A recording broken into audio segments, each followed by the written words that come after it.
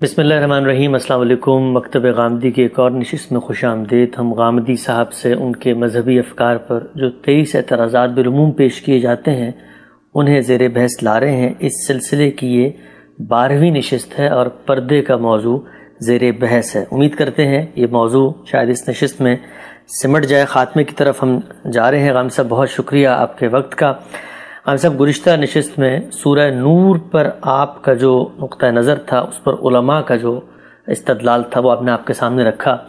हिफ्ज़ गज़ बसर पे भी उनका इस्तदलाल आपके सामने रखा और फिर हिफ्ज़ फ़रूज पे भी और फिर उसके बाद जीनत कहते किसे हैं और इल्ला माजहरा मिनहा से क्या मुराद है? बहुत तफसील से आपने दोनों जानब के इस्तदलाल को वाजे किया था, अपनी राय दी थी इस पर सूर नूर की हिदायत बयान करते हुए आपने एक आखिरी चीज़ जो इस ज़मीन में बयान की थी, वो ये थी कि अल्लाह ताला ने औरतों के बारे में, इल्ला मा ज़ाहरा मिनहा के बाद दो सवालात, दो मुकद्दर ऐसे लोगों के जहन में शिकाल जो पैदा हो सकते थे, उन पर भी राय दे दी है कि अगर आपने जीनत की हुई है तो फिर आपने जो सीना है उसको कवर करना, वल जजरबना भी हिन्ना इससे हमारे जो उलमा हैं, वो दुबट्टे के लजूम का एक हुक्म बरामद करते हैं। आपने सर की ओढ़नी के बारे में अपना नुक़ नज़र बयान कर दिया था बहुत तफसील से।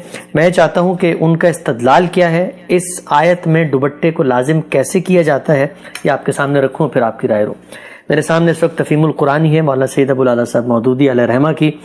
वो इस आयत के वजाहत में लिखते हैं कि ज़माना जाहलीत में औरतें सरों पर एक तरह के कसावे से बांधे रखती थी, जिनकी गिरा जूड़े की तरह पीछे चोटी पर लगाई जाती थी। सामने गरेबान का हिस्सा खुला रहता था, जिससे गला और सीने का बलाई हिस्सा साफ़ नुमाया होता था। छातियों पर कमीज के सिवा कोई चीज़ न होती थी और पीछे दो तीन चोटियाँ लहराती रहती थी। तफसीर कशाफ का उन्होंने हवाला दिया और इबन कसीर का भी हवाला दिया, यानी इस होलिये के मुताबिक। मौला फरमाते हैं कि इस आयत के नजूल के बाद मुसलमान औरतों में दुबट्टा राइज किया गया, जिसका मकसद ये था कि आजकल की साहबजादियों की तरह बस उसे बल देकर गले का हार बना लिया जाए, बल्कि ये था कि उसे ओढ़कर सर, कमर और सीना सब अच्छी तरह ढांक लिया जाए। अहले ईमान खातन ने कुरान का ये हुक्म सुनते ही फ़ौरन जिस तरह इसकी तामील की इसकी सब इस, इसकी तामील की इसकी तारीफ़ करते हुए सईद आयशा फरमाती हैं कि जब सूर्य नूर की आयत नाजिल हुई तो रसूल से इसे सुनकर लोग अपने घरों की तरफ़ पलटे और जाकर उन्होंने अपनी बीवियों बेटियों बहनों को इस आयत के बारे में बताया। अंसार की औरतों में से कोई ऐसी न थी जो ये आयत सुनकर अपनी जगह बैठी रह गई हो। हर एक उठी और किसी ने अपना कमर पट्टा खोलकर किसी ने चादर उठाकर फ़ौरन उसका दुबट्टा बना लिया और ओढ़ लिया।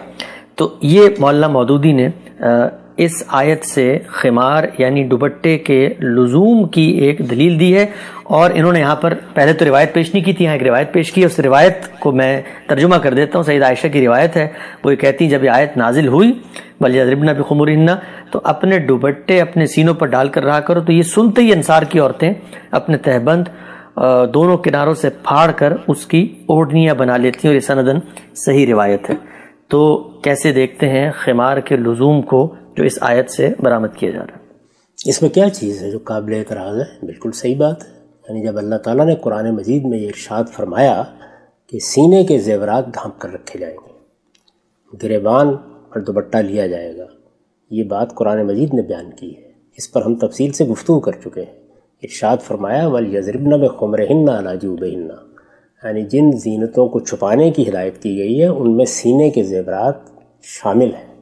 लिहाजा तुम अपने दुबट्टे उन पर आंचल की तरह डाल लो। अल्लाह ताला की इस हिदायत पर अमल करना ही था मुसलमान खुवान उन्होंने अमल किया।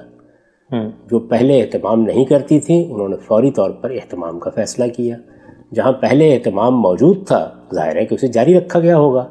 इससे पहले अगर कोई चीज़ हो रही थी तो आम रिवायत या रिवाज के तौर पर हो रही थी। अब वह अल्लाह का हुक्म बन गई, अल्लाह की हिदायत बन गई तो उसके लिए उसी तरह का इंतसार अमर होना चाहिए था। ये अंसार की औरतों ने भी किया होगा दूसरी खातन ने भी किया होगा।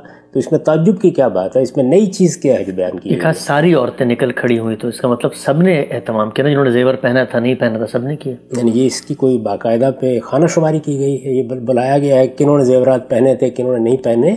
ऐसी चीज़ें अला सबील तकलीफ़ बयान होती हैं। हम्म। यानी जब बहुत सी खातन ये अहतमाम करने के लिए निकल खड़ी हुई उन्होंने अपने दुपट्टे बना लिए या उनके आंचल अपने सीनों पर डाल लिए या अहतमाम के साथ दुपट्टा ओढ़ना शुरू कर दिया ताकि वो सीने के जेवरात छुपा सकें तो इसमें ऐसा ही होना चाहिए हम्म, हम्म। कौन सी नई बात है इसके अंदर यानी मैं भी अगर आज ये हुक्म सुनूँगा तो अमल करने के लिए आगे बढ़ूँगा ना एक हम्म। मुसलमान की हैसियत से तो वहाँ भी औरतें बड़ी होंगी इससे नई बात क्या मालूम होती है सब की सब खातन निकल खड़ी हुई दो निकल खड़ी हुई दस निकल खड़ी हुई।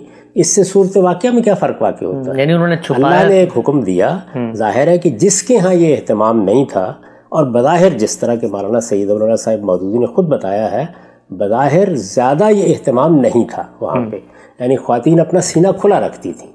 अब जब अल्लाह ताला ने फरमाया कि सीना ढांप कर रखना चाहिए उस वक्त जब तक तुमने जेवरात पहने सीना खुला रखती से मुराद? एक कपड़ा होता था उसको मजीद नहीं ढांपती यानी कमीज पहना हुआ है जिस तरह के आमतौर पर पहनती हैं लेकिन ये कि जेवरात नज़र आ रहे होते थे। जेर बहस क्या है कि अगर तुमने जीनत की हुई है जेवरात पहने हुए हैं बनाव संगार किया हुआ है तो सीने को ढांप कर रखो।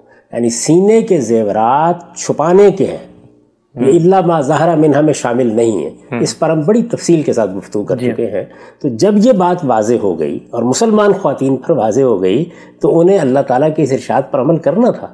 ये उसी की तफसील है। इसमें क्या नई चीज़? इसमें हम सब एक इस्तदलाल ये भी पेश किया जाता है कि जब कुरान ने एक लफ्ज़ इस्तेमाल किया खमार कि भाई अपने जो दुबट्टे हैं, ओढ़नियाँ हैं, उनको सीनों पर भी डाल दो, जीनत की भी हो। तो इससे इस्तेमाल किया जाता है कि ये बात तो आपसे आप वाजे है ना कि भाई दुबट्टे मौजूद थे, सरों पे ओढ़ ओढ़ रही थी औरतें। तो अब मज़ीद हुक्म ये दिया गया है कि सीनों पर भी गिरा दो, यानी सरों पर तो ओढ़ना ही है, तभी तो वो मौजूद है, तभी तो दुबट्टे का लफ्ज़ इस्तेमाल किया गया। और आगे तो उतनी बात ही कही है जो आपने इससे पहले कही है कि दुबट्टे मौजूद है। यानी जो चीज़ लिबास का हिस्सा है उसी को बुनियाद बनाकर हुक्म दिया जाए। दुपट्टे सरों पे तो अल्लाह ताला का यही तरीका है। जहाँ भी थे सवाल ये है कि अल्लाह ने हिदायत क्या फरमाई? जो हिदायत फरमाई वो ये थी कि वो सीने के जेवरात को छुपा कर रखें हम्म, तो अल्लाह ताला के मुँह में हम अपनी बात तो नहीं डाल सकते ना। हम्म, जब कोई हिदायत की जाएगी तो ऐसे ही की जाएगी आप अगर कमीज़ पहनते हैं और आपसे कहा जाएगा कि ये फल ज़रा आप अपनी झोली में डाल के ले आइए तो आप कहेंगे इसमें झोली का होना तो अब हुक्म का लाजमी हिस्सा बन गया। हम्म, हम्म, हम्म, यानी इसका इससे कोई ताल्लुक नहीं है। सर की ओढ़नी के बारे में क्या होना चाहिए इस पर हम इससे पहले गुफ्तु कर चुके हम्म, मैं अपना नुक्ता नज़र आपको पढ़ कर सुना चुका। मेरी किताब मकामात में वो मजमून मौजूद है हर आदमी उसको देख सकता है। लेकिन ये कि इस तरह की इस्तलालात करने की ज़रूरत क्यों पेश आती है? अल्लाह की किताब बिल्कुल वाजे है उसके अहकाम बिल्कुल वाजे हैं। आप ज़रा एक निगाह तदब्बर के साथ डालकर देखिए कि जो गुफ्तु हमने इससे पीछे की है ना सूरह अहजाब में कोई ऐसी बात है कि जिसमें कोई वहाम रह गया हो न सूरह नूर में कोई ऐसी बात है। बिल्कुल वाज तौर पर मालूम हो गया कि अल्लाह ताला मर्दों से क्या चाहते हैं ख़वातीन से क्या चाहते हैं। और जैसे कि मैंने इब्तदा में अर्ज़ किया था कि मर्द व जन के इख्तलात के मिलने जुलने के आदाब बताए। हैं और ये आदाब ऐसे फितरी हैं कि इनके साथ तहजीब शाइस्तगी ये तो एक मुसलमान माशरत पे नुमायाँ होती है लेकिन ये कि लोगों की आज़ादी पर कोई कदगन नहीं लगती। उनके काम करने में कोई रुकावट पेश नहीं आती। उनको किसी बेजा किस किस्म की तकलीफ़ में मुबतला नहीं किया जाता। तहजीब और शाइस्तगी सिखाई जाती है। और उसके तमाम पहलू वाजे हो गए। यानी ये कि गज़ बसर से कैसे काम लेना है हिफ्ज़ फ्रूज के लाजमी नतज क्या हैं और इसी तरह जीनतों के मामले में अल्लाह ताला क्या हिदायत फरमा रहे हैं। उनको सामने रखिए। इन रवायतों में कोई चीज़ उससे मुख्तलिफ़ नहीं है कोई चीज़ उसके ख़िलाफ़ नहीं है। अगर ये रवायतें सही हैं तो बिल्कुल ठीक उस मुद्दा को बयान कर रही हैं। जो मुद्दा अल्लाह ताला का है। हम्म, हम्म।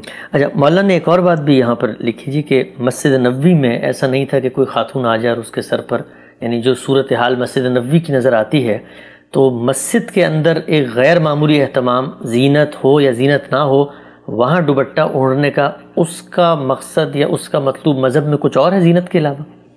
इस पर क्या कहना चाहते हैं? मस्जिद नबी के बारे में ये सारी मालूम कहाँ से हासिल हुई? हैं जो मुसलमान खातन के आम लिबास थे वहाँ उन्हीं को पहनकर वो आती थी।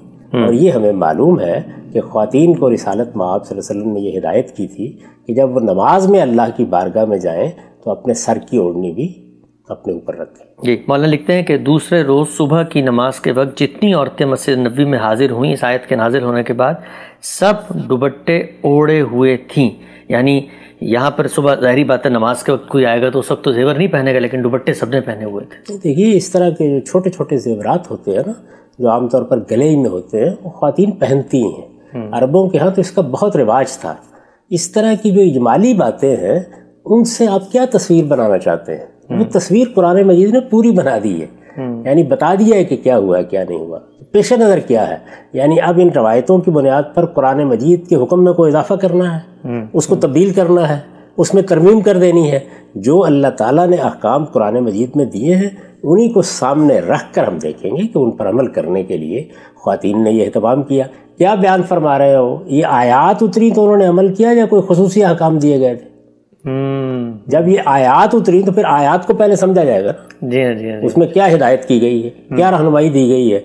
जो हिदायत की गई है जो रहनुमाई आप ये तरतीब उलट रहे हैं और ये हमारे पूरे मजहबी इल्म के साथ हादसा हुआ है। हम्म। यानी कुरान मजीद पर अमल करने के लिए बताया जा रहा है कि अंसार की खातन निकली।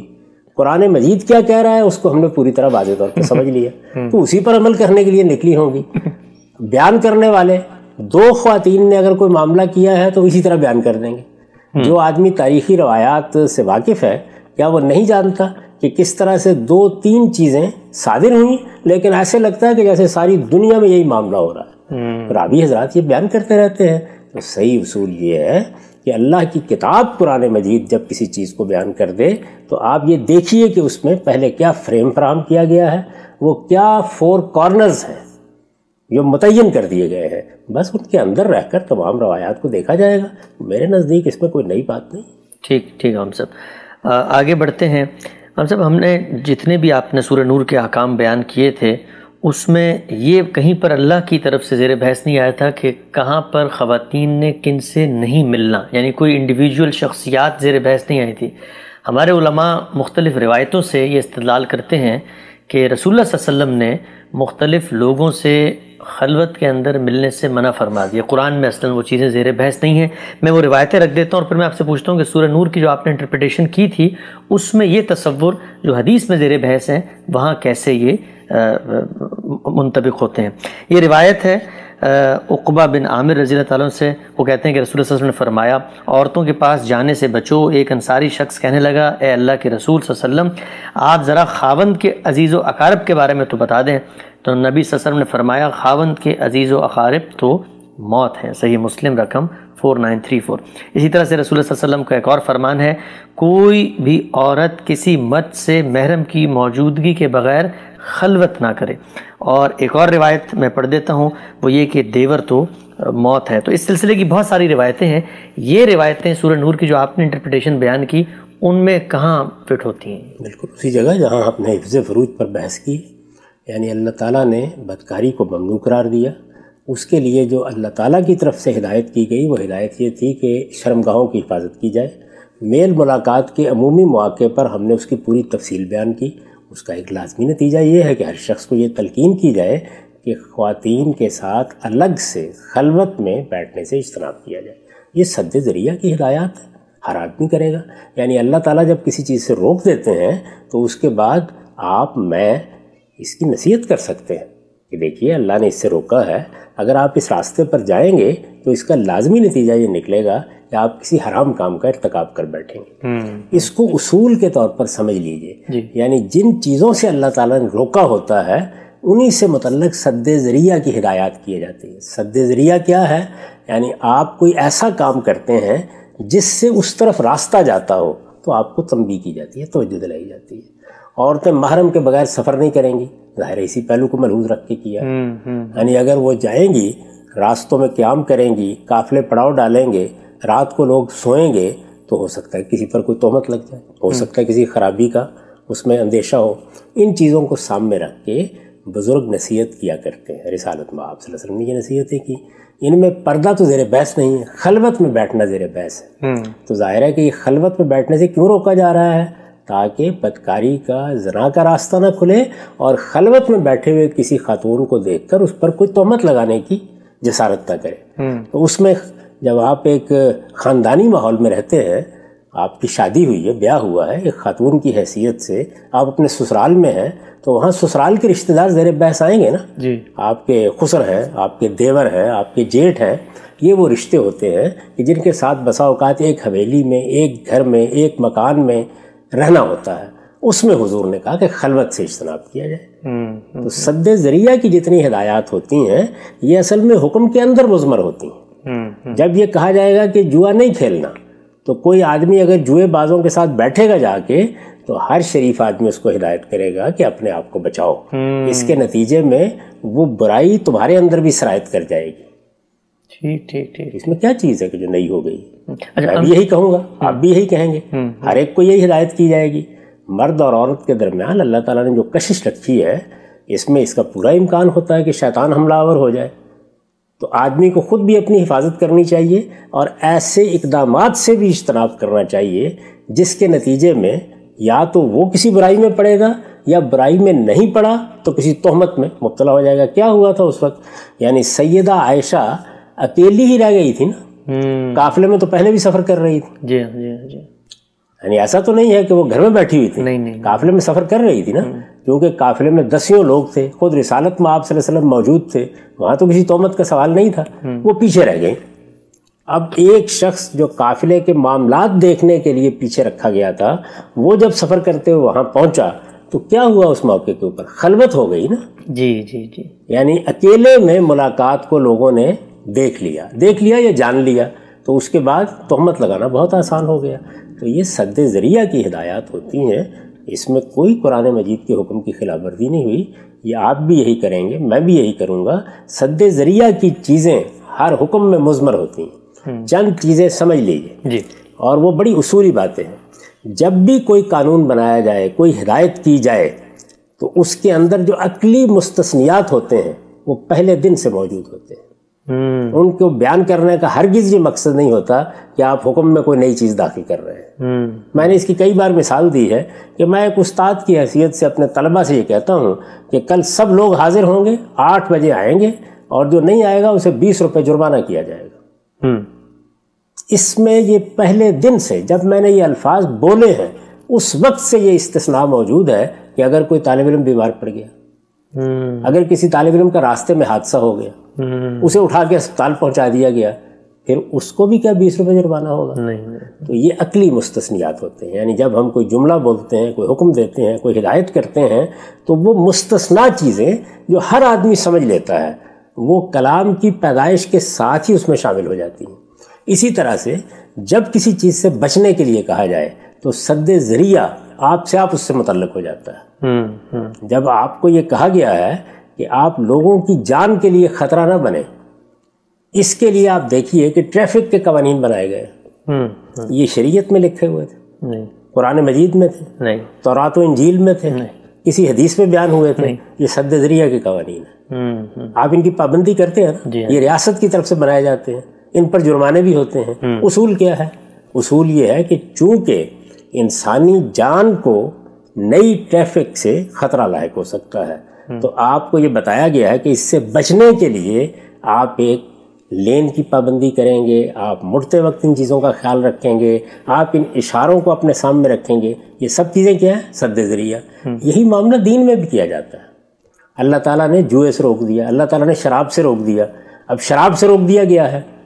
हम जानते हैं कि अल्लाह ताला के यहाँ ये एक ममनू चीज़ है। जी। हमारा कोई बच्चा कोई अज़ीज़ उन लोगों के पास बैठने लग गया शराब खाने चला गया या शराब खाने चला गया है। हम्म, हम्म। या उन लोगों के पास ही बैठने लग गया है। या हमें पता चलता है सिगरेट नहीं पीता वो। हम्म। लेकिन उसके दोस्तों में बहुत से लोग सिगरेट पीते हैं। तो आप क्या कहते हैं? ये कि बेटे वहाँ बैठने से इज्तनाब करो।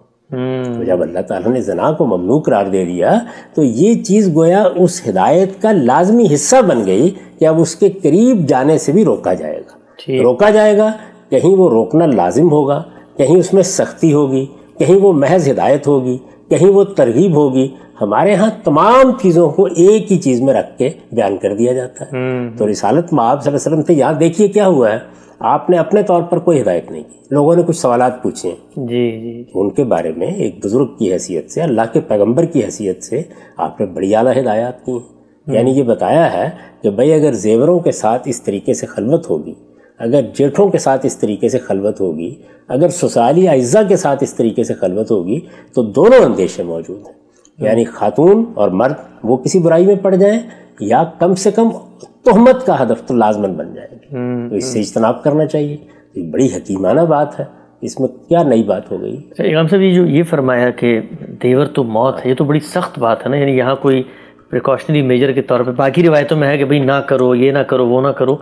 लेकिन एक सवाल ये पैदा होता है कि इतनी सख्त बात क्यों फरमाए? दूसरा ये कि जो रिश्तों की पाकिजगी है मसलन एक देवर इसको सुनता है वो कहे यार मुझे तो भाभी के बारे में इतना मतलब तस्वुर नहीं भी था तो जहन में आ जाता है कि मैं ये हूँ। तो इतनी सख्त बात क्या बताया गया है? ये बताया गया कि बात ना करें खाना ना खाए बैठ के। ये तो नहीं कहा गया खलवत ना करें। हम्म, तो तमाम गैर महरम आइज़ा तमाम अजनबियों के मामले में यही हिदायत करनी चाहिए। हम्म, हम्म, आपकी बच्चियाँ पढ़ने के लिए जाती हैं खातन अस्पतालों में काम करती हैं। हम्म, सबको यही कहा जाएगा कि अपनी इज़्ज़त और अपने वकार की हिफाजत के लिए खलवत में बैठने से इज्तनाब करें। हम्म, हम्म, ये हिदायत तो आज भी की जाएगी। यानी वहाँ देवर के लिए की गई है इसलिए कि ख़ानदानी माशरत है। जी। आज शायद खेतों में काम करने वालों को ये हिदायत की जाए। शायद अस्पतालों में काम करने वालों को ये हिदायत की जाए। रात के वक्त की बाज़ को ड्यूटीज़ होती हैं रहना पड़ता है तो उसमें तवज्जो यही दिलाई जाएगी कि अगर आप खलवत को रवा रखेंगे तो ये तो मौत है। यानी इसका शदीद अंदेशा है कि या किसी बुराई में पड़ जाएँगे और या बुराई की तोहमत लेके वापस आ जाएँगे। ठीक। हम सब लोगों ने इसका ये भी अहतमाम आजकल किया हुआ है और जिससे हुक्म की मंशा पर अमल हो सकता है। मसलन आप खलवत में बैठे हुए हैं तो या तो कोई कैमरा लगा दिया है जो लोग मॉनिटर कर रहे हैं या किसी ऐसे मकाम पर हैं अगरचे खलवत है लेकिन लोग चाहें तो आपको देख भी सकते हैं। तो वो अंदेशा नहीं है कि कोई तादी या कोई गलत काम हो तब भी हुक्म की मंशा पर अमल हो जाए। है असल मकसूद यही है ना यानी पेश नज़र मकसद क्या है? ये है कि आपको ये एहसास रहे कि आप तनहा नहीं हैं। हम्म, ये एहसास क्या करेगा? ये दूसरों की तहमत से आपको बचाएगा। आपके अंदर अगर कोई बुरा मैलान पैदा होता है तो उसमें एक रुकावट बन जाएगा। इंसान बड़ा कमज़ोर वाक़ हुआ है। उसका मामला ये नहीं है कि वो अपने आप को किसी ख़तरे में डाल दे और उसके बाद ये कि अब मैं बच के दिखाऊँगा। नहीं हमें ये तालीम दी गई है कि हमें आजिज़ बंदों की तरह रहना चाहिए और अपने आप को खाम खा ख़तरात में नहीं डालना चाहिए। ठीक। और फिर अर्ज़ कर दूँ कि ऐसी तमाम चीज़ें खा वो मुस्तसनियात की नौीयत की हों खा वो सद ज़रिया की नौीयत की हों ये क्या हुक्म का मंशा बताती हैं। ये बताती हैं कि तुमने उस असल चीज़ से बचना है। हम्म, हम्म, हम्म, तो असल चीज़ में पढ़ने से आदमी को बचने की कोशिश करनी चाहिए। और ये हिदायत अपनी नौीयत के लिहाज से क्या होगी? कहीं ये महज तरगीब होगी कहीं महज नसीहत होगी कहीं महज हिदायत होगी और कहीं ऐसी चीज़ भी होगी कि अगर ये तरीका इख्तियार करोगे तो इसमें तो अपने लिए हलाकत का सामान करोगे। सही सही। ये तो आप भी बोलते हैं मौत का मतलब क्या है? ये तो हलाकत है। हम्म, हम्म, इसमें अपने आप को बड़ी मुश्किल में डाल लोगे। रूहानी बड़ा हलाक हो जाएगा। तो ये बात बिल्कुल वाजे बात। ठीक। अच्छा आप जब एक मुख्तसर सा एक उसूली सवाल जहन में यहाँ पर आ रहा था वो ये कि जिस वक्त मैंने आपके सामने इस्तदाल रखा था कि उलमा अगर ये कहें कि चेहरे को देखकर औरतों के मेकअप और इन चीज़ों को देख के फितना फैलता है मर्द देखते हैं मिलान होता है तो हम फितने के सद्दे बाप के लिए ये कहते हैं कि चेहरों को ढांप लीजिए। तो आपने फरमाया था कि ये आकाम तो ऑलरेडी सद्दे ज़रिया के हैं प्रिकॉशनी मेजर है तो शरीयत साजी हो जाएगी आप तो अब अल्लाह ने जब ये पाबंदियाँ नहीं लगाई थी और ऑलरेडी सूरह नूर के आकाम सद्दे ज़रिया कहते तो फिर अलैहि वसल्लम ने जो एक नई बात की तो फिर ये इजाफा नहीं हुआ नहीं अलैहि वसल्लम ने उन अहकाम से मतलब कोई बात नहीं की नहीं। हम्म। यानी ये एक दूसरा मौजू है। हम्म। वहाँ खलवत में बैठना जेर बहस ही नहीं है। हम्म, वहाँ असल में मेल जोल के आदाब बताए जा रहे हैं। ठीक ठीक इस तरह की चीज़ों को मौजू बनाने की ज़रूरत ही नहीं थी। ये तो असल में हर अकेल आदमी समझता है। हम्म। जब अल्लाह ताला कहेंगे कि बदकारी नहीं होनी चाहिए या बदकारी एक बड़ा जुर्म है या इसकी ये सज़ा है या क़यामत में इसका ये नतीजा निकलेगा तो इसके लाजमी नतीजे के तौर पर आप बहुत सी सद ज़रिया की चीज़ों को खुद भी अपने ऊपर लागू कर लेंगे। हम्म हम्म। अगर ये मालूम हो कि किसी माशरे में बदकारी को एक जुर्म समझा जाता है आप किसी खातून के साथ अकेले बैठे होंगे तो ये हो सकता है किसी की निगाह पड़े तो आपकी बदनामी का मौजू बन जाए। हम्म तो इससे अकली तौर पर सद ज़रिया खुद वजूद में आ जाएगा। हम्म, तो ऐसी बात हुजूर भी कहेंगे ऐसी बात उलमा भी कहें किसने रोका है उनको? ठीक ठीक लेकिन वो यही बता कर कहेंगे कि असल हुक्म तो ये था और ये इसमें से एक ऐसी बात को उसी जगह रखना चाहिए। इसीलिए मैंने इससे पहले ये बयान किया कि ये लाजिम नहीं हो जाता कि उसके बाद अब हराम के अल्फाज ही बोलें। हम्म ममनू के अल्फाज ही बोलें।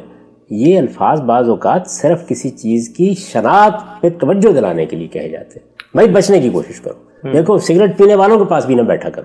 हम्म हम्म, अब ये जो सिगरेट पीने वालों के पास भी ना बैठा करो क्या इसका हुक्म और सिगरेट न पियो? शराब पीने वालों के पास भी ना बैठा करो और शराब न पियो। आप इसको यकसा कर देंगे। हम्म हम्म, अच्छा फ़र्ज़ कर लीजिए कि कोई आदमी शराब पीने वालों के पास बैठा है जाके। तो क्या अगर शराब पर आपने कोई कानून बनाया हुआ है सजा देने का तो उसको भी दे देंगे। तो सद ज़रिया की चीज़ें दुनिया के कानून के लिहाज से भी हिदायत और नसीहत के बाप की चीज़ें होती हैं। और ये आखरत के पहलू से भी हिदायत और नसीहत के बाप की चीज़ें होती हैं। इसको देखिए खुद रसोल्ला सल्लल्लाहु अलैहि वसल्लम ने किस खूबी के साथ वाजे की है। आपने फरमाया कि देखो निगाहें भी बदकारी करती हैं हाथ भी बदकारी करते हैं लेकिन फिर आखिर में शर्मगा तस्दीक या तकजीब करती तो अगर तो मामला वहाँ पहुँच गया तो फिर इधर भी माखूज हो जाओगे जो कुछ पीछे कर चुके हो। और अगर वहाँ बच गए तो अल्लाह इससे भी दरगुजर करेगा। ये बात जो हजूर ने फरमाई उस अमूमी उसूल पर फरमाई जो कुरान में बयान हुआ है कि वो लोग थे अल्लाजीना यजतनबूना कबायर इसमें वल ख्वाहिश जो अपने आप को बड़े बड़े गुनाह और ख्वाहिश से बचा लेंगे। अल्लाह ताला क्या करेगा? उनकी छोटी छोटी गलतियों को माफ़ कर देगा। बल्कि वो उनसे झाड़ देगा वो सामने नहीं आएँगी। तो ये छोटी छोटी गलतियाँ हैं जिनकी तरफ़ तवज्जो दिलाई गई है। और तवज्जो दिलाने का ये अमल अल्लाह का पैगंबर भी करता है ये फ़ुका लवा भी करते हैं ये ख़ानदान के बुज़ुर्ग भी करते हैं। हम्म, हम्म। एक बात जहन में रखिए कि जब अल्लाह ताला ने अहकाम की एक पूरी फहरिस्त बयान कर दी है तो ये उसी दायरे के अंदर चीज़ें होंगी। समझ बदकारी से रोकने के लिए मेल जोल के आदाब अल्लाह ताला ने बता दिए। वो चीज़ें जो अकली तौर पर हर आदमी को बदकारी से बचने के लिए करनी चाहिए वो बयान करने की ज़रूरत ही नहीं। मतलब वो आदमी खुद भी ख्याल रखेगा। जी। कोई तवज्जो भी दिला दे। ठीक। आजकल लोग एक सवाल पूछते हैं जो कि इससे मुतलक है तो आपकी इतला की राय भी मैं उस पर ले ही लेता हूँ।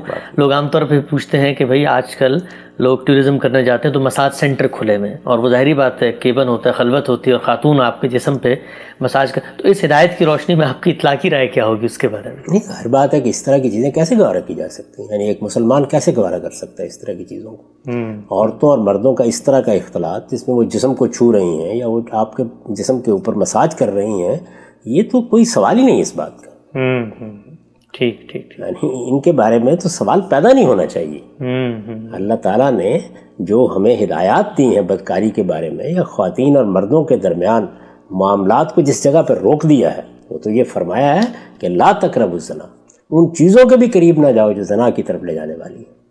ठीक ठीक। बिल्कुल करीब नहीं जाना चाहिए। ठीक। अच्छा हम सब आगे बढ़ते हैं। अब ये जो बात मैंने कही है जी।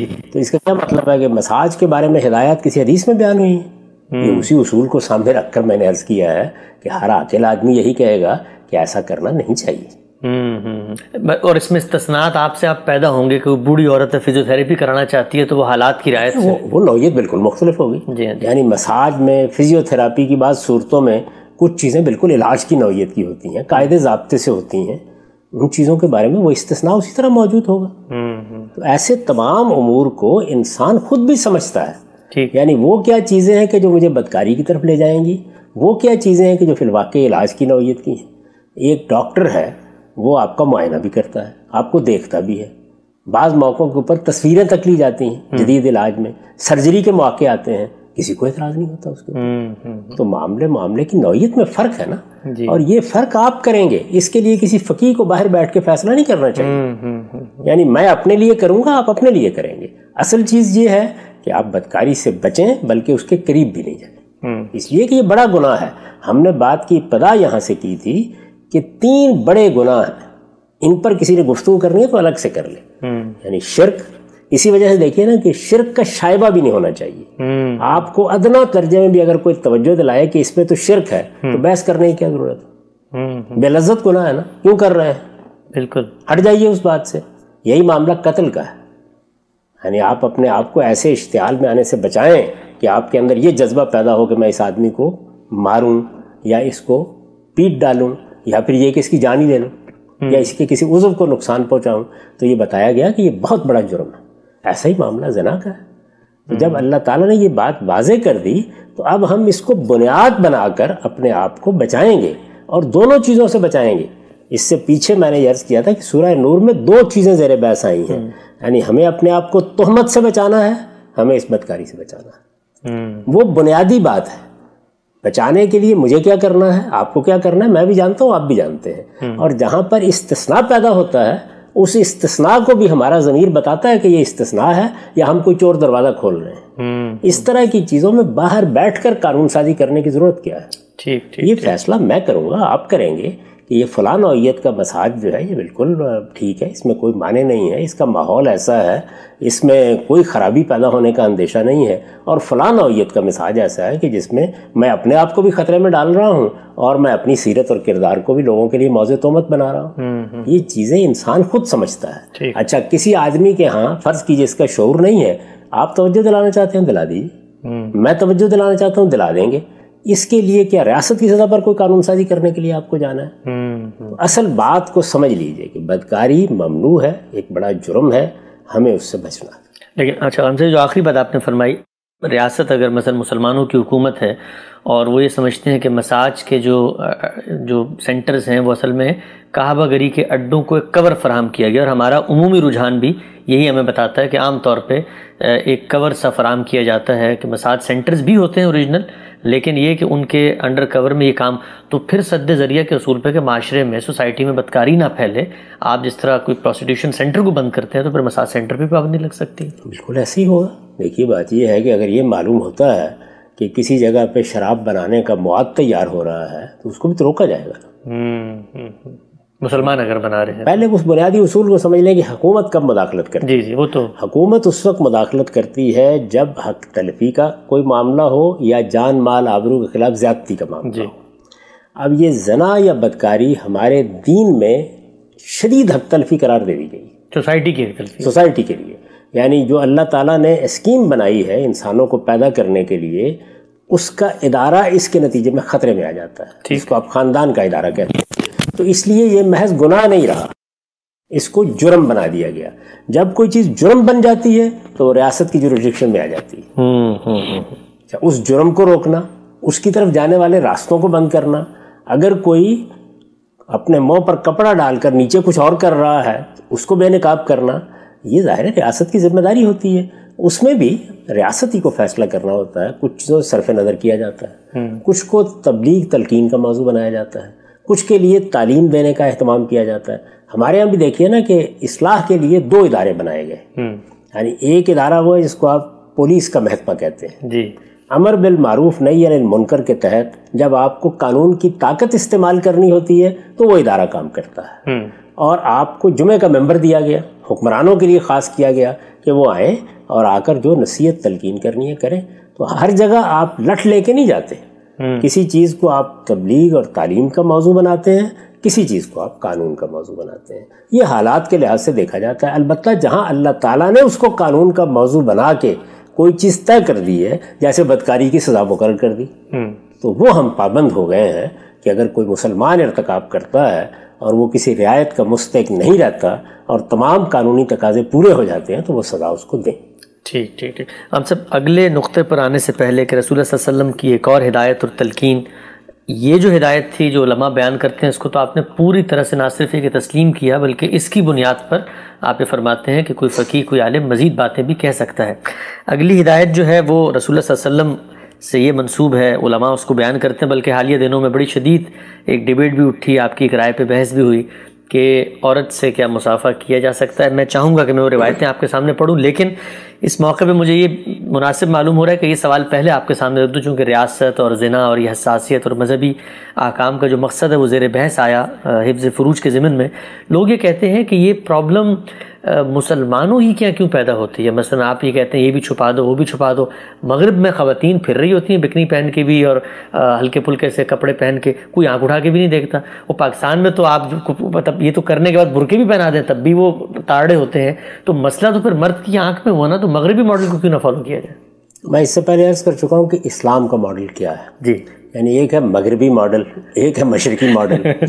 तो वो मगरबी और मशरकी मॉडल को थोड़ी देर के लिए भूल जाए। इस्लाम का मॉडल हमने अच्छी तरह मौजूद बहस बनाकर समझ लिया। जी। अब इस्लाम के उस मॉडल में किस चीज़ को बुनियादी हैसियत हासिल है? वो ये है कि बदकारी की हम इजाज़त देने के लिए तैयार नहीं। हम्म। यानी बदकारी की इजाज़त ना सिर्फ़ ये कि मजहबी लिहाज से नहीं दे सकते अल्लाह ताला ने उसको एक बड़ा गुनाह करार दिया है।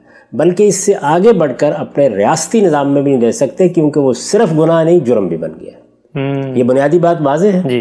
तो जो फ़ज़ा आप मगरब में पैदा करते करना चाहते हैं ये देख रहे हैं उसके लिए ज़रूरी है कि बदकारी के मामले में ये रवैया तर्क कर दिया जाए। अच्छा अच्छा। यानी वो आदमी क्यों निगाह उठा के देखेगा जिसको उसी रात उसी तरह की या उससे भी बेहतर को मैसर आ जाएगी?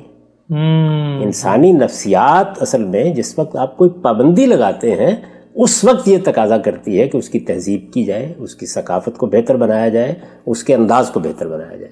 तो मगरबी मॉडल के लिए वो बुनियादी ज़रूरत है। हम्म। और मशरकी मॉडल में हमने अपने तशद्दात दाखिल कर दिए हैं। अल्लाह ताला के बताए हुए मॉडल पर रहें उसमें ज़ाहिर बात है कि वो सूरत भी तो नहीं पैदा होगी लेकिन कुछ चीज़ों का लिहाज आपको अपनी ज़ाती ज़िंदगी में ख़ुद भी करना होगा और कुछ चीज़ों के बारे में रियासत भी कोई इकदाम करेगी, लेकिन रियासत उसी वक्त करेगी जबकि वो चीज़ या हक तलफी का ज़रिया बन रही हो, या वो जान माल आबरू के ख़िलाफ़ ज़्यादती का ज़रिया बन रही हो। कानून इससे तजावुज़ नहीं कर सकता। कानून का काम गुनाहों को रोकना नहीं है, जराइम को रोकना जी जी। अच्छा हम सब आपने जो कि बात की यहाँ तो मुझे याद आया कि आपका एक मजमून भी है इसी इसी हवाले, जिसमें आपने बताया है कि मशरकी तहजीब और जो मज़हब तहजीब पैदा करना चाहता है उसमें फ़र्क क्या है? तो हिफ्ज़ फ़रूज हिफ्ज़ मरातब और अमर बिलमारूफ और नहीं अलमुनकर। यह मेरी किताब मकामात में वो मजमून है वो लोग देख सकते हैं इस्लामी तहजीब क्या। है। यानी मैंने ये बताया कि इस्लामी तहजीब की असासात तीन है। तीन बातें हमारे दीन ने कही। एक ये कि फरूज को महफूज होना चाहिए शर्मगाहों को महफूज होना चाहिए बदकारी नहीं होनी चाहिए। सोसाइटी के नज़म में बदकारी के रास्ते बंद किए जाएँगे। ये एक बुनियादी बात। हिफ्ज मरातब। यानी सारे इंसान खिलकत के लिहाज से बराबर हैं लेकिन बाप और बेटे में फ़र्क है। माँ और बेटी में फ़र्क है। माँ और बेटे में फ़र्क है। उस्ताद और शागिर्द में फ़र्क है। यानी ये फ़र्क के मरातब मलहूज रखा जाएगा। और इसमें कुछ आदाब होंगे कुछ एहतराम के तकाजे होंगे कुछ चीज़ों में आप अपनी आज़ादी नहीं बरत सकेंगे। और इसी तरह का मामला अमर बिल मारूफ नहीं मुनकर का। है यानी आप सोसाइटी के बुरे भले से अपने आप को अलग करके नहीं बैठ जाएँगे।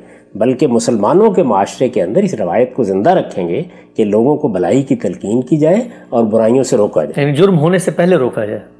जुर्म होने से पहले रोका जाए। सारे ही माशरे रोकते हैं। यानी आपके ख्याल के मुताबिक अमेरिका में बरतानिया में लोगों को मिलावट से नहीं रोका जाता। रोका जाए चोर बाजारी से नहीं रोका जाता। टैक्स छुपाने से नहीं रोका जाता।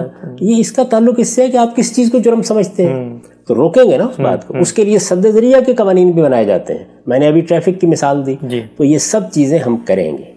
लेकिन इतनी बात मलहूज रहे कि इससे जो तहजीब वजूद में आएगी वो हमारी तहजीब है।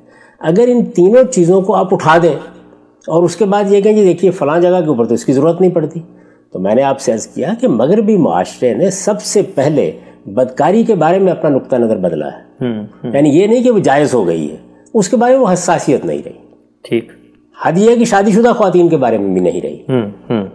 यानी अगर फ़र्ज़ कर लीजिए किसी ने इसका इरतकाब कर लिया तो क्या बड़ा जुर्म कर लिया है? लेकिन हम चूँकि अपने इस बुनियादी मुकदमे से दस्तबरदार होने के लिए तैयार नहीं हैं तो इस वजह से कुछ आदाब बताएँगे कुछ पाबंदियाँ लगाएँगे कुछ चीज़ों की नसीहत करेंगे और उससे वो सूरत नहीं बनेगी जो मगरब में बनती है। लेकिन वो भी नहीं बनेगी जो हमने मशरक में इस वक्त बना रखी हुई है। यानी एक नहायत ही मतदिल माशरा वजूद में आएगा जिसमें न वो सूरतें होंगी जो हमने बना के रख दी हुई हैं और न वो सूरतें होंगी कि जो मगरब ने पैदा कर दी हैं। हम्म, हम्म, हम्म। ठीक। अच्छा हम सब एक सवाल बड़ा अहम माशरती सवाल है और इस पूरे तस्वुर से रिलेटेड भी है। वो ये कि आपने फरमाया रसुल्ला की उस हिदायत को आप सामने रखते हैं कि खलवत में मिलने से परहेज़ किया जाए गैर महरम लोगों से। हमारे यहाँ और इसमें कोई मशरक मगरब का इस्तना नहीं है। गर्ल फ्रेंड बॉय फ्रेंड का एक ताल्लुक लोग रखना चाहते हैं। उसके लिए कुछ ऐप्स भी बन चुकी हैं। मसलन डेटिंग ऐप्स हैं।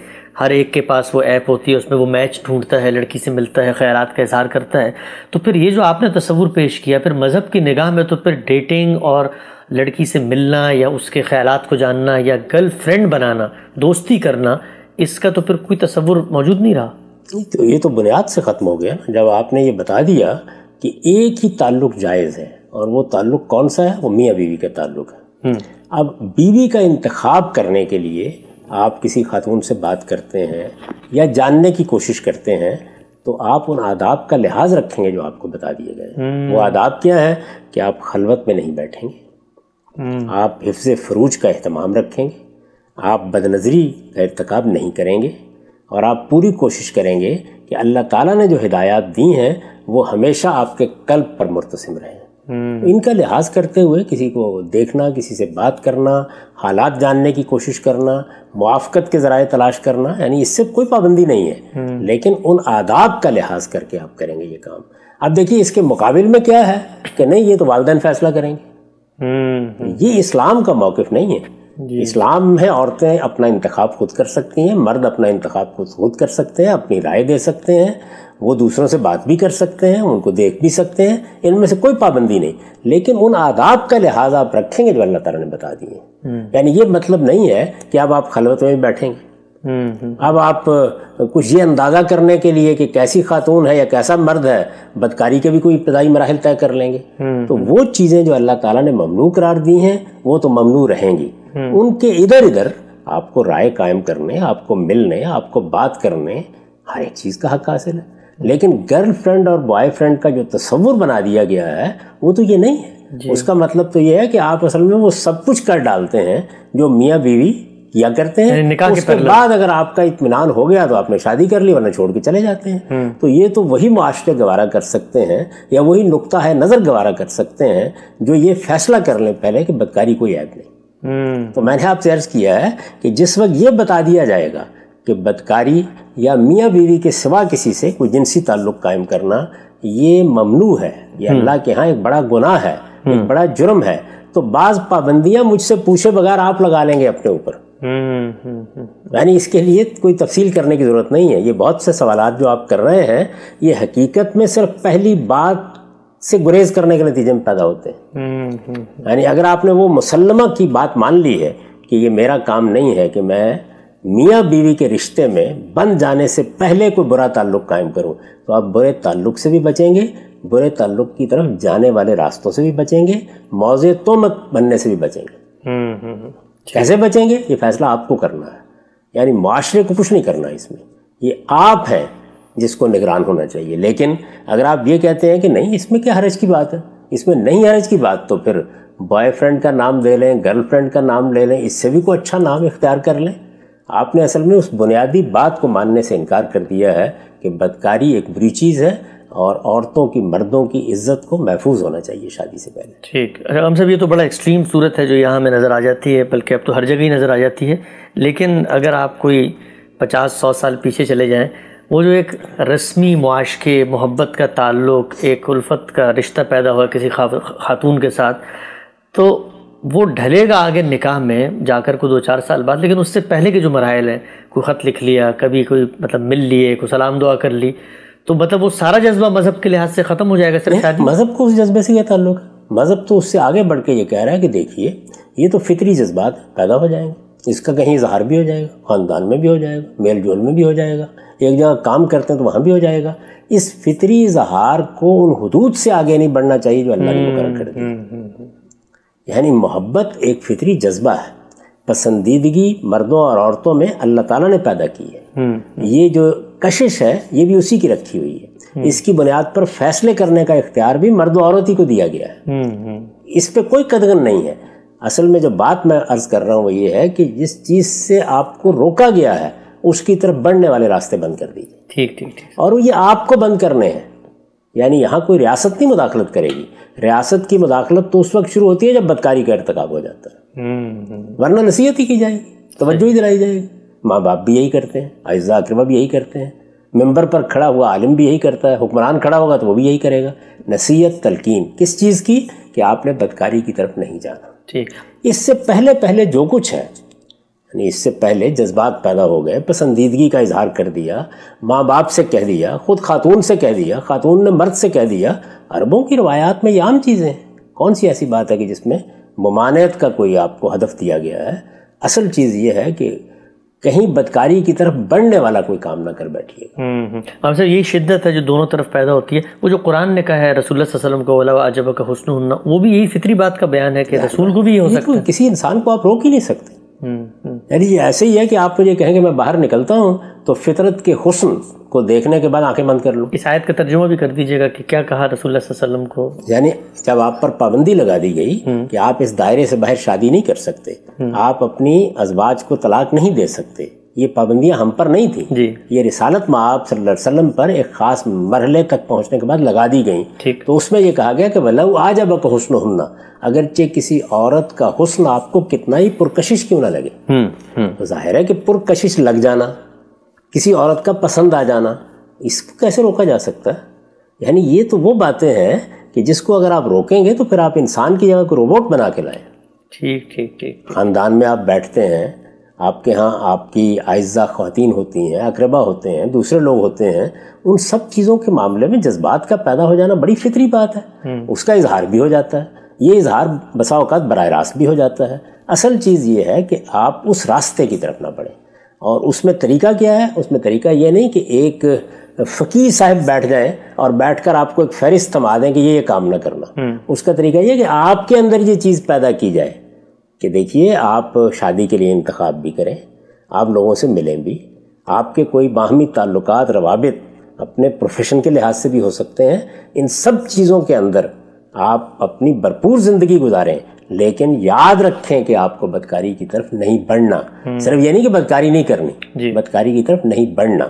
तो ज़ाहिर है कि नहीं बढ़ना को जब आप अपने रब का हुक्म समझेंगे तो फिर आप अपने ऊपर वो पाबंदियाँ खुद लगा लेंगे जो असल में एक बंदा मोमिन को लगानी चाहिए। ठीक। अच्छा हम सब ये बताइए कि इस तस्वुर को सामने रख के मुसलमानों के माशरे के अंदर इन हिदायत को कोई औरत अमल कर रही है तो फिर हमारे यहाँ मॉडलिंग हमारे यहाँ फ़िल्म इंडस्ट्री में ख़वान का आना डांस करना एक्टिंग करते हुए किसी की गर्लफ्रेंड बनना बीवी बनना उसमें तैयार होना। ज़ाहरी बात है जब आप अपने आप को प्रेजेंट करते हैं दुनिया के सामने तो जो रोल के तकाजे हैं उनको अमल करना फिर तो एक मुसलमानों के माशरे में ये काम तो फिर नहीं हो सकते ना।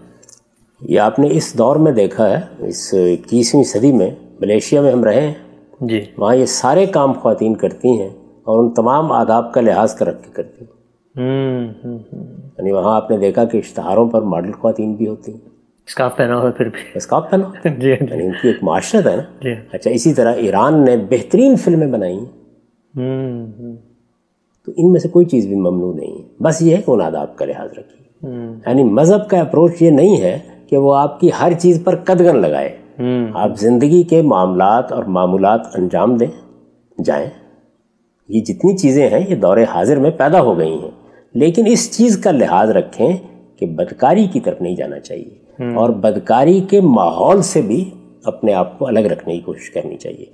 हम जानते हैं कि ये जो इस तरह की दुनिया है उसमें इन हदूद का ख्याल नहीं रखा जाता। हम्म। हमें मालूम है कि उसमें आम तौर पर बदकारी एक शाय ज़ाय चीज़ बन जाती है। जी जी। तो इस पे लोगों को मतलब भी करना चाहिए। हम्म ये जिस शोबे में आप जा रहे हैं क्योंकि उसमें खतरात ज़्यादा हैं तो अपने आप को ज़्यादा बचा के रखिए। किसी काम से रोकने की कोई ज़रूरत नहीं। हम्म। रोकना जिस चीज़ से है वो बताइए उनको। हम्म हम्म हम्म, और उनके अंदर ये एहसास पैदा कीजिए कि आपको दो चीज़ों को अपने यहाँ पेश नज़र रखना चाहिए। एक ये कि इस बड़े गुनाह की तरफ़ कहीं ना बढ़ जाए और दूसरे ये कि अपने ऊपर कोई तोहमत न लगवा बैठे। ठीक ठीक ठीक। अगर आपकी सोसाइटी बदकारी के मामले में हसास है हम्म। और आपके अंदर मजहबी एहसास भी पैदा हो गया है तो मेरे नज़दीक बाकी चीज़ें खुद ब खुद हो जाएँगी। हम्म ये जो हम ऊपर से कोई चीज़ लादने की कोशिश करते हैं यानी असल बात नहीं बताई जा रही। हम्म हम्म। एक खातून को पूरा इतमान नहीं है इस बात पे ऊपर कि बदकारी को ममनू चीज़ है। हम्म एक मर्द को इसका एहसास ही नहीं है कि अल्लाह ने इससे रोका है। तो बाकी चीज़ों में क्या कर लेंगे? ठीक ठीक। ये एहसास दिलाइए वो खुद अपने पेशों में इसका लिहाज भी करेंगे और ये बता दीजिए कि जो चीज़ें अल्लाह ने मसलन हमने हिफ्ज फरूज पर बात की और उसमें ये बताया कि ये लाजमी लिबास है। हम्म तो उस लाजमी लिबास को तो पहनना ही पड़ेगा। हम्म हम्म अच्छा मुस्तबात के मामले में आप कुछ मुस्तसनियात में जा सकते हैं। हम्म खेल कूद में जिन लोगों को शामिल होना होता है हमारे यहाँ देख लीजिए आप अपने माशरे में हमने बयान किया ना कि मर्दों का सतर क्या है लाजमी क्या है। कबड्डी में तो वो भी नहीं होता। लेकिन क्या कबड्डी में और आप ये जो पहलवान हैं उनके यहाँ मलूज रखते रहे? ये जो अखाड़े आपके यहाँ बने हुए थे आज से सौ साल पहले भी उनमें इसको मलूज रखा जाता था। तो ऐसी मुस्तसनियात पैदा हो जाती हैं। उनमें सिर्फ़ तवज्जो दिला कर जाना जी हम साहब बड़ी अच्छी आपने मिसाल दी मलेशिया की और हमारे आमतौर पे कहा जाता है कुछ कामों का ऐसा तकाजा है कि आप लिबास पे कॉम्प्रोमाइज मतलब स्विमिंग है तो हमने देखा कि मलेशिया ही ने दुनिया में आगे बढ़कर बुरकिनी जो है उसको याद किया कि आप स्विमिंग में भी सर को कवर करके बुनियादी अज़ा को ढांप सकते हैं। तो एक मुसलमान माशरत को अगर असल हुक्म को सामने रखें तो कोई ना कोई रास्ते निकल आएँगे। असल चीज़ ये है कि आप इसके लिए कानून साजी एक फ़कीर को बिठाकर न करवाएँ। हम्म हम्म बल्कि उलमा को इस बात की तरबियत दें कि वो लोगों को उन मकासद पर कायल करें। हम्म हम्म हम्म, यानी दीन में जिस चीज़ से रोका गया है जी। वो चीज़ रासिक होनी चाहिए उसका शौर पैदा होना चाहिए। वो शौर पैदा हो जाएगा बाकी चीज़ें आपसे आप होती हैं। हम्म हम्म हम्म, यानी मैं बहुत से काम है जिनको बिल्कुल जायज़ समझता हूँ जी। लेकिन नहीं कर पाता। उसकी वजह उसकी वजह यह है कि मेरे मामूलात और हैं। मेरी तरजीहत और हैं। तो इंसान जिस वक्त अपने अहदाफ मुतन कर लेता है तो वो इतना नाहल नहीं है। औरतें मर्द वो समझते हैं कि फ़लाँ काम अगर फिलवाक़ अल्लाह को नापसंद है तो हमें उसके रास्ते बंद करने हैं। ये रास्ते कैसे बंद करने हैं? इसका फ़ैसला मैं आपसे अर्ज़ करूँ कि मैं और आप बाहर बैठ के नहीं करते ये खुद इंसान का ज़मीर करता है। ठीक ठीक। और इसी चीज़ की तरबियत करनी चाहिए। हम्म हम्म हम्म, आप ये कर दें उसके बाद हर जगह खुर्दागिरी करने की ज़रूरत नहीं है। ठीक लोग अदाकारी भी करेंगे लोग गाने भी गाएँगे लोग और इस तरह के मामला भी करेंगे वो खुद अंदाज़ा कर लेंगे कि हम किधर जा रहे हैं। हम्म हम्म, जब वो महसूस करें कि हम किसी बुरे रास्ते की तरफ़ जा रहे हैं तो अपने आप को बचाने की कोशिश करें। हमारे यहाँ बदकारी बुरा रास्ता है ये बात जहन नशीन कराने की ज़रूरत है। हम्म। और जो आदाब अल्लाह ताला ने बयान कर दिए हैं उन आदाब की खिलाफ वर्जी किसी मुसलमान मर्द या औरत को नहीं करनी चाहिए। हमें सिर्फ़ दो बातें कहनी हैं। हम्म हम्म, वही जो सूरह नूर जहाँ से शुरू हुई कि बदकारी और बदकारी की तोहमत से बचो ये बुनियादी बात। हम्म। इसके लिए अल्लाह के बताए हुए आदाब ये हैं इनका लिहाज करो। ठीक ठीक। इसके बाद क्या करना है? ये मेरे नज़दीक ये हदूद से तजावज़ है उलमा की तरफ़ से भी फ़ुकहा की तरफ़ से भी दानश्वरों की तरफ़ से भी बाकी मामला को लोगों पर छोड़ दें। ठीक ठीक। हम सब आखिरी दो सवालात हैं मुख्तसर, फिर उम्मीद है कि पर्दे का मौजू शायद आज मुकम्मल हो जाए। एक बात आपके तवज्जो दिलाने से जहन में आई, हमारे यहाँ आजकल एक बड़ा मशहूर सीरीज़ है, तुर्कियों ने बनाई है, तुर्कों ने बनाई है उर्तुगुल के नाम से। तो उसमें उन्होंने ड्रामे के अंदर वो तमाम पहलू मलहूज़ रखे, क्योंकि सिचुएशन का तकाजा ऐसा है, एक बड़े खलीफा की बेगम है। लेकिन जब उस खातून ने अपनी अमली ज़िंदगी में कोई इनराफ किया तो उन्हीं लोगों ने पब्लिक ने जो मुसलमान थे, इनमें शऊर था, उसको तवज्जो दिलाई कि हम तुम्हें उसी लिबास में देखना चाहते हैं। तो ये भी एक तरह की एक मिसाल बनती है। देखिए हर माशरे के अंदर एक रद्दमल भी होता है। यानी आप एक आलिम की हैसियत से, एक दानश्वर की हैसियत से सहाफ़ी की हैसियत से, सियासतदान की हैसियत से, ऐसे ही अदाकार की हैसियत से जब माशरे के सामने आएँगे तो माशरा अपने एहसास का इजहार करेगा। ये चीज़ें भी हमारी इसलाह का ज़रिया बनती हैं और कभी तकलीफ़ दे भी हो जाती हैं। इनके अंदर से लोग रास्ता निकालते हैं लेकिन जिस वक्त हम दीन पर गुफ्तगू कर रहे हों तो हमें तरतीब मलहूज रखनी चाहिए। यानी जुजियात में जाके हर चीज़ पर हुरमत का फतवा लगाना नहीं चाहिए। जिन चीज़ों को अल्लाह ने हराम किया है अल्लाह के पैगंबर ने वो बता देनी चाहिए। ये अहदाफ है। कि इन चीज़ों को हमें हासिल करना है हर हाल में। जिन चीज़ों में सद ज़रिया के तौर पर अल्लाह ताला ने आदाब बता दिए या कोई चीज़ मुस्तना कर दी उसको वाजे कर देना चाहिए। इसके बाद लोगों पर छोड़ देना चाहिए कि वह अपने फैसले खुद करें। ठीक। उसमें इनहराफात भी होंगे। उसमें बहुत से लोग ऐसे भी होंगे कि जो एहतियात में हद से बढ़ जाएँगे। बस उनको तवज्जो दिलाते रहना चाहिए। सही सही। अच्छा हम सब आखिरी दो सवाल पर इंशाल्लाह खात्मा की तरफ़ बढ़ते हैं। इतलाकी सवाल है हमारे यहाँ अब बालों पे भी तजीन की जाती है, ताज पहना जाता है, कोई उसको ख़ास घंटों, बल्कि चेहरे से ज़्यादा बालों पे मेहनत होती है। तो एक मुसलमान खातून गैर महरम के सामने बालों पे तजीन की हुई हो तो हाथ, पैर, चेहरे के इस्तना में चेहरे के मुतसिल बाल भी शामिल हैं या बाल उसको ढांपने चाहिए? मेरा रुझान तो वही है, इसलिए मैंने उसको बयान कर दिया है कि अगर तजीन की हुई है। देखिए, बाल फितरी तौर पर मैं भी दुरुस्त करता हूँ, आप भी दुरुस्त करते हैं, ख़वातीन भी करती हैं। बालों का दुरुस्त करना, ये और चीज़ है। और कोई जेवर उनके ऊपर पहनना कोई फूल लगाना या इस तरीके से कोई तजीन करना वो बिल्कुल और चीज़ है। तो तजीन के बारे में हमने ये बता दिया कि हाथ पाँव चेहरे के सिवा बाकी जिसम के अज़ा को ढांप कर रखना चाहिए। ये बात कुरान मजीद ने बयान कर दी। है जी। अगर तजीन नहीं की हुई तो मैं इससे पहले वादे कर चुका कि फिर ऊपर की दोनों बातें हैं यानी गज़ बसर से काम लें हिफ्स फरूज से काम। ठीक ठीक। ये जीनत के बाद से मुतलक अहकाम है जिन पर हमने आखिर में सूरह नूर को समझते हुए गुफ्तु की थी। तो मेरे नज़दीक यही है ताहम इस पर कोई शख्स बहस भी कर सकता है और ये बात भी समझ लीजिए कि जिस वक्त अल्लाह ताला के हुक्म को अमूमी तौर पर समझ लिया जाता है तो उसमें बाद ऐसी जगह भी होती हैं जिनमें कुछ थोड़ी बहुत बहस की गुंजाइश हो जाती है। कोई हरज की बात नहीं उसमें जिसका जो रुझान बन जाए उसको इख्तियार कर ले। ठीक ठीक। उसमें मुझे क्या हक है कि मैं अपना रुझान आप पर लाजमन ठूस दूँ? या आप ये बताएँ कि कौन सा हेयर स्टाइल इसको कवर होना चाहिए कौन सा नहीं होना ये ये मेरा काम नहीं है। हमें ये चीज़ यानी मुसलमान औरतों के अंदर मुसलमान मर्दों के अंदर अपने दीन से मोहब्बत पैदा करनी चाहिए। उसके बाद अल्लाह के अहकाम बता देने चाहिए। बाकी चीज़ें जो हैं उन पर कोई हुक्म खुद लगाने की बजाय उनके अंदर ये जज्बा पैदा करना चाहिए कि वो हुक्म की रूह को सामने रख कर खुद अपनी तहजीब करें। ठीक। खुद अपना तजकिया करें। खुद अपने आप को बेहतरी की तरफ़ ले जाएँ। हम्म। और इसमें ये खुर्दागिरी का तरीका तर्क कर देना चाहिए। ठीक है हम सब आखिरी सवाल की तरफ़ बढ़ते हैं। हम सब उलमा का ये आपके एक इतलाकी नुक़ नज़र पे एतराज़ सामने आया कि दीन के इस मजमू फ्रेम को सामने रख के रसोल्ला वसल्लम का जो उसवा है आपने जो आपने जिस चीज़ पर हमेशा अमल किया उस मामले में आपने एक मुख्तलिफ़ राय दी है। वो ये कहते हैं कि रसुल्ला ने कभी किसी औरत से हाथ नहीं मिलाया। मैं कुछ रिवायतें मुख्तसर पेश कर देता हूँ। सही मुस्लिम अठारह सौ छियासठ नंबर रिवायत है। रसुल्ला वसल्लम के हाथ ने कभी भी किसी औरत के हाथ को छुआ तक नहीं। और रसुल्ला वसल्लम जब उनसे अहद लेते तो वो भी पर्दे के पीछे से बैत ले लेते थे उनसे। इसी तरह ये उमैमा बिन उमैमा की एक रिवायत हो। कहते हैं कि रसूल वसल्लम को मैंने कभी नहीं देखा कि उन्होंने मुसाफ़ा किया हो।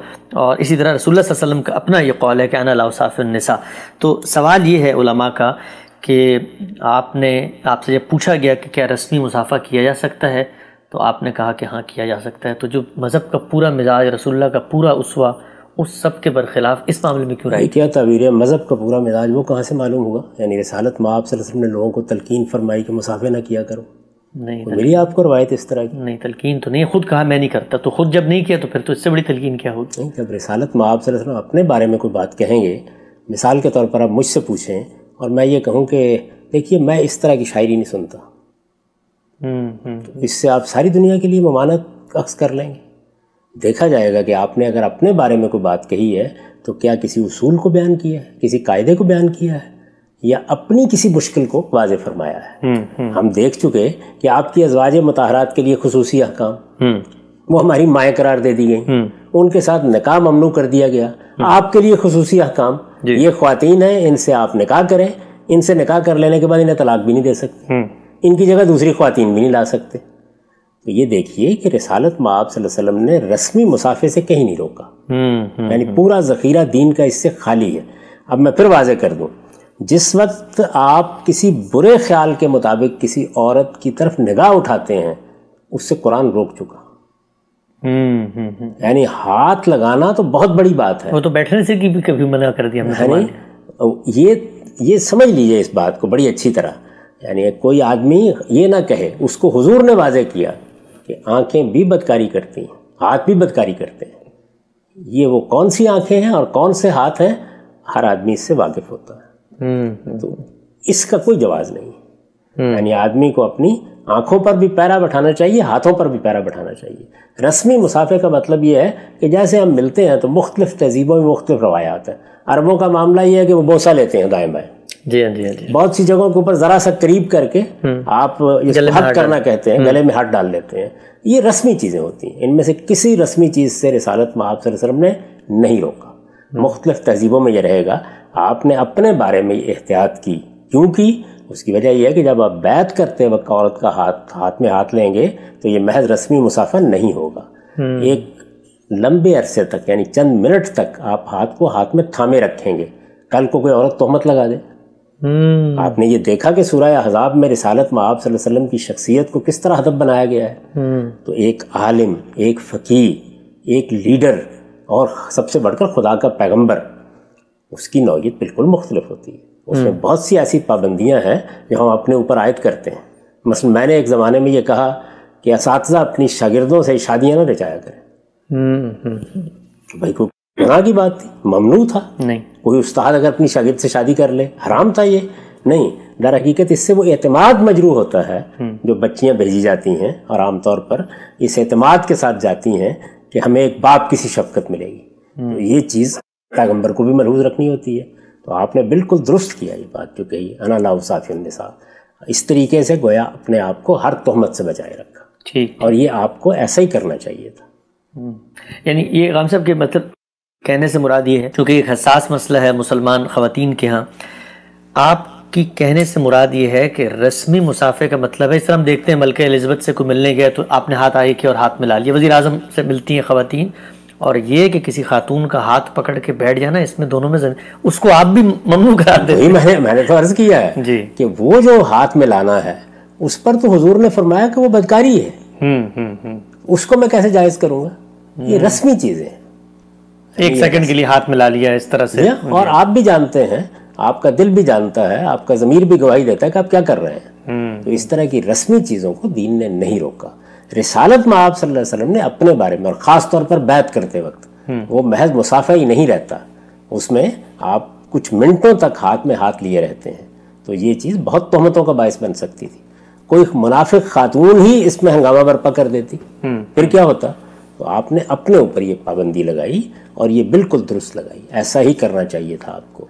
इसके नतीजे में रिसालत माब वसल्लम की शख्सियत का जो अखलाकी पहलू है वो हर तरह की तहमतों से बाला कर रहा और अल्हम्दुलिल्लाह यही चीज़ है जो मतलूब भी थी। आपने देखा है सूरह हजाब में क्या सूरत पैदा कर दी? आपने देखा है कि आपकी अजवाज मतहरात के मामले में क्या चीज़ कर डाली गई? तो वो मुनाफिकीन जो शब व रोज़ इंतज़ार में बैठे हुए थे कि खुदा के पैगंबर के यहाँ कोई रखना हम तलाश करें उनके लिए तो ये बेहतरीन मौका बन जाता। इसको पेश नज़र रखकर आपने अपने बारे में ये तय कर लिया और इसमें सारा ज़ोर है अना पर। अना साफिर मैं नहीं करता। मैं नहीं ये करता। अगर आपने रोकना होता तो आप सबको कहते कि ला तो साफिर निसा औरतों से मुसाफा ना किया करो।